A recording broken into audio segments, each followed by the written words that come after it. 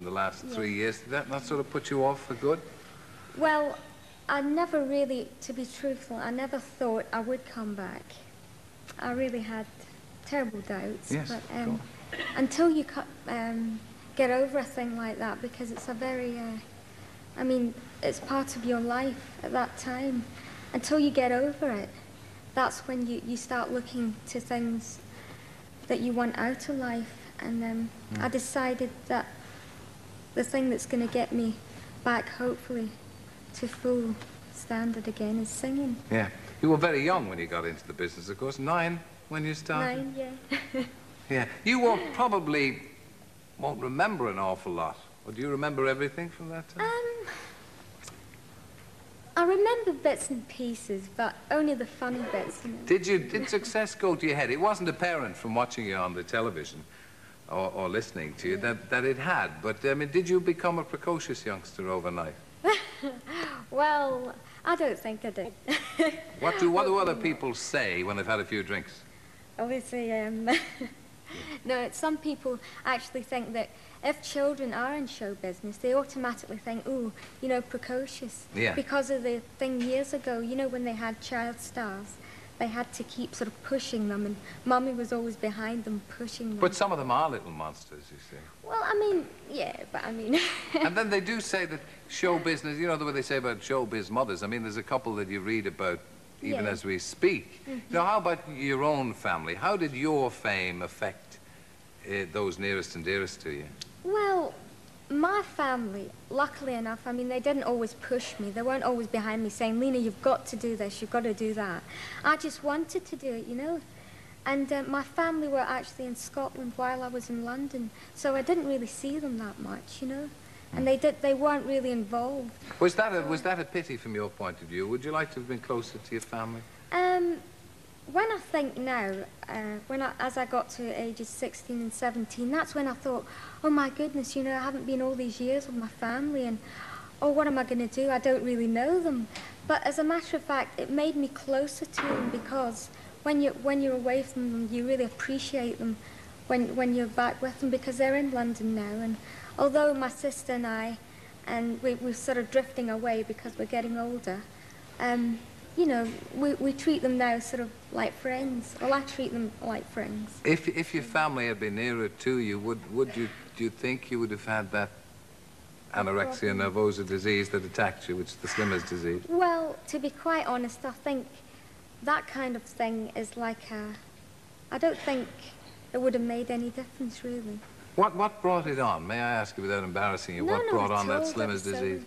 Um, I think it's. I mean, anybody can get it. It's like, it's like, I was in stage school, you know, and I wasn't really a dancer, and I, I sort of wanted to be in with everybody. I wanted to look as if I was one of the dancers, one of the actresses, and really, I hadn't been brought up as a dancer, or I mean, I didn't even know what ballet was when I first went there. I said, "What's ballet?" when I was nine, and uh, I just when I was aged 12 and 13, I thought I was pleasantly plump. I wasn't fat. I know the feeling very well. Well, you know the feeling. Yes, I've had it, I've had it for years. well, There's nothing wrong with that, but uh, uh, did you have some kind, you're going to say that you had some kind of, you felt bad about that? Yeah, I mean, I thought I had to be a ballet dancer. and I wasn't a ballet dancer. And um, I just thought I wanted to be good at ballet and things like that, especially in a stage school and in, in um, show business. You always think, oh, you see all these, um, you know, there's pictures of people and things that are really thin. Yeah. Now, these people are either naturally thin or they're either models that that's their whole life and they're probably starving themselves, probably.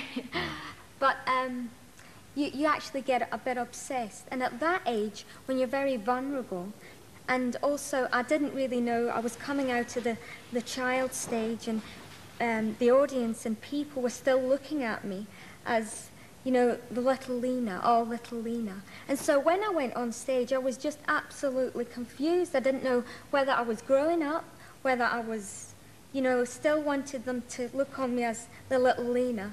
You know, I, I was so confused that um, I think instead of either turning to something like young people, sometimes they'll, they'll turn to punk or drugs or drink or whatever. I just actually turned it all on to my favourite thing, which was food, because I loved my food. I did. And well, I, I like it now again. Do you like it? Are you eating up now? Yes, but I eat all the bad stuff, unfortunately. Well, that's all right. I mean, we, as long as we'd like to see you back to your chunky self. How does, do you feel better about it now? Have you identified in your own mind that transition between the child performer and the adult performer? Are you happy about that? Well, put it this way, I recognize it now. I recognize it, and that's where you can recognize it and enjoy it. You know, everybody's got a child part in them.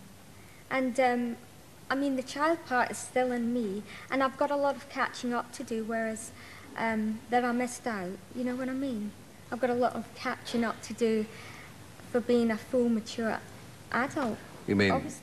having boyfriends and doing That's all the things that a young I've girl should do? Will you, will you give yourself, will the people around you give yourself more freedom to be yourself rather than Well, Lena Zavaroni on the stage I'm- now? I'm glad you mentioned that because this is where it is hard because people still think of me as, oh, little Lena when she was nine, you know? And it's, it's, it's automatic for people to think that. I mean, I don't blame them. But, um, uh, I forgot the question again. what is it? Well, maybe, maybe the old Lena wouldn't have, you see, and I, I think that's, that's quite endearing. And I think you're as charming as ever. Oh. And I